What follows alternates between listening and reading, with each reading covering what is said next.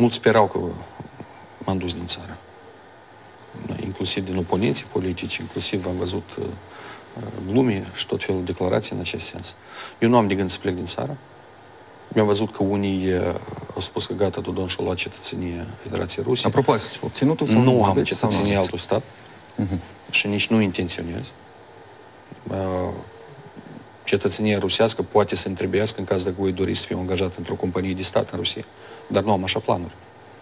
Eu rămân în Republica Moldova. Dar oferte aveți? Oferte sunt. Oferte sunt. De aceea uh, am uh, decis să rămân în țară. Acum și o să discutăm cu ce mă voi ocupa. Da. Uh, familia tot e aici.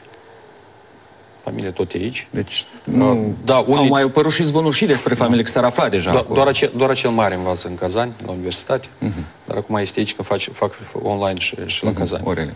De aceea sunt pe loc, uh, sunt alături de colegii din partid, avem foarte mult de lucru, dacă chiar mâine voi fi în teritoriu.